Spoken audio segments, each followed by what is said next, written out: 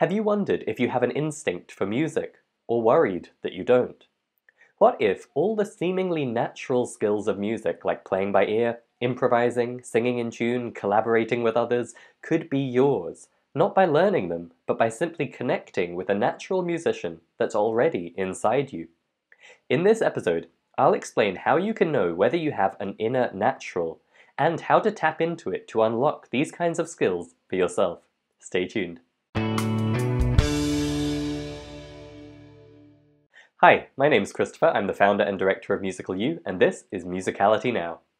We often talk on this show about your inner natural or having the instinct for music, and all the practical skills that go along with that, like playing notes, chords, and rhythms by ear, improvising, jamming, and more.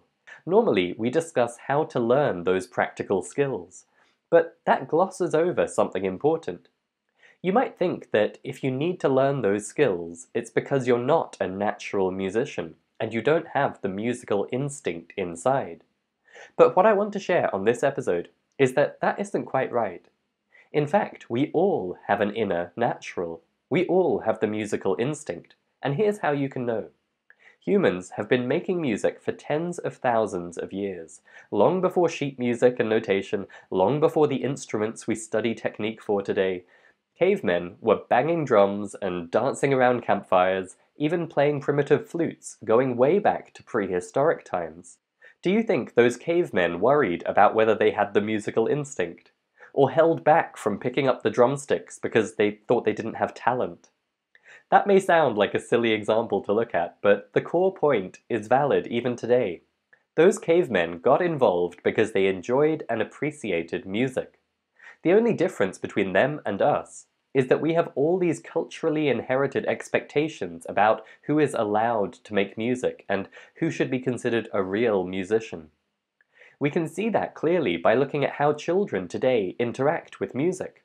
Before they start getting indoctrinated about so-called talent, any child will instinctively dance to music or have fun making noise when handed an instrument. Again, the only difference between that free and confident attitude to music making and the typical adult mindset is that we gradually accumulate a ton of misconceptions and barriers around what it means to be a musician or to be a natural. Let's take improvisation as a case in point. Most adult musicians, if you ask them if they can improvise, they'll say, nope. Because in their head, they're taking improvise to mean perform an impressive melody or arrangement on their instrument with no prior preparation, conforming to particular expectations about a music genre like jazz or rock. That is a ton of baggage. What about the question, could you play a few notes on your instrument without any sheet music? Or can you stick to a single note and come up with a cool rhythm by yourself? Those are both totally valid forms of improvising and well within the capabilities of any instrumentalist who's got a grip on the basics of instrument technique. So, what if becoming a natural in music isn't about creating an inner natural, but about connecting with the inner natural that's already there? Here's the thing you already intuitively understand music. If you didn't, you wouldn't enjoy music. Let me ask you can you tell when music gets more exciting or less exciting? When it's fast or slow? Can you hear the difference between a human voice and a guitar?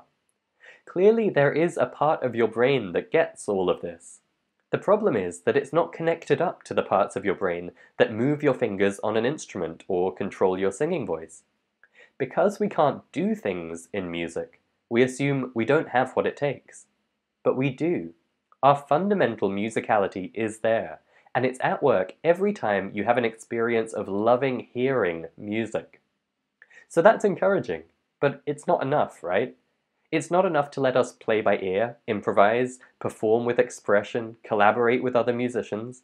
To do all those things, we need to put connections and frameworks and mental models in place to transform the instinctive understanding of music into an intellectual understanding. That enables us to consciously draw on that intuitive understanding to choose what notes to play when, and actually express our own musical ideas out in the world. There is no limit to how advanced you can get with these mental frameworks and connections, and it's a virtuous cycle. The more you learn, the more you can do, and the more you will do. Then, the more you love music, the more you understand music instinctively, and the more connections you can put in place. This cycle, by the way, is why we do see some apparently talented musicians in the world. That cycle has just happened particularly quickly, or it's all happened very early in their life. For the majority of us, we've gained the inner instinct for music, but we need to take conscious action to put in place the intellectual understanding and mental models to put it all to use. Putting these mental frameworks in place is what we're talking about when we discuss ear training or musicality training here at Musical U. It comes in many forms from simple, repetitive drills and exercises to teach fine-grained skills, through to big picture conceptual understanding, and there's a lot of learning by doing along the way. It looks different for each and every musician, but it's always about empowering them to connect with the deep instinctive understanding of music that's already there. So never doubt that you have what it takes, or worry that you don't have an instinct for music. If you enjoy music, if you love music, if you can appreciate your favorite music tracks, you have what it takes. All that remains is to equip yourself with the tools to translate that inner instinct out into the world in exciting and creative ways. So what are you waiting for? I don't often directly promote our products here on the show, but I will in this case. We are about to open up our Foundations of a Musical Mind course again, so if you're looking for an easy and proven way to put in place the mental models that will unlock that inner natural for you, head to musicalmindcourse.com. Oh hey, one more thing. If you enjoyed this video, please take a second to like it on YouTube, and if you haven't already, please also subscribe to our channel there. That's going to help make sure you get all our latest videos as soon as they come out, and it also helps us reach more people, which means more episodes, better guests, and everybody wins. So please take a second to like this video and hit subscribe.